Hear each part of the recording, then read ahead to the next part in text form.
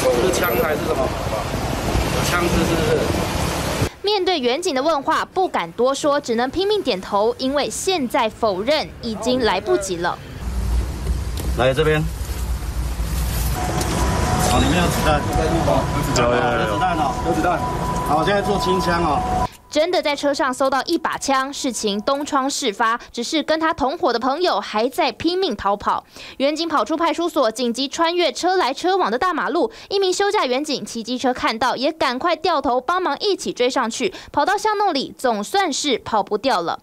逃跑的是朱姓男子。事发在七号，朱姓男子和他的朋友互相争风吃醋，双方都找人来理论。只是朱姓男子带了爸爸和朋友，总共四人，一见到对方就出手殴打。期间，朱姓男子的爸爸还拿出一把枪来挥舞，要威吓对方，让他不敢反抗。警方接获报案，组成专案小组，掌握朱姓男子的身份。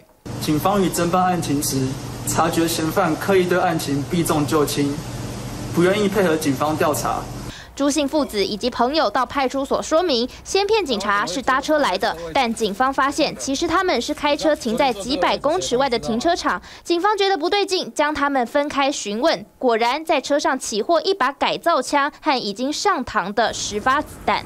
这下逃也逃不掉，全部被铐上手铐。只是私人恩怨，好好谈就好。拿出枪来，真的只会让事情越演越烈。TVB 新闻廖宗庆、钟宣桃园采访报道。掌握全球情势、国际新闻，全新选择 YT 频道 TVBS 国际 Plus，扩大视野。欢迎订阅并开启小铃铛。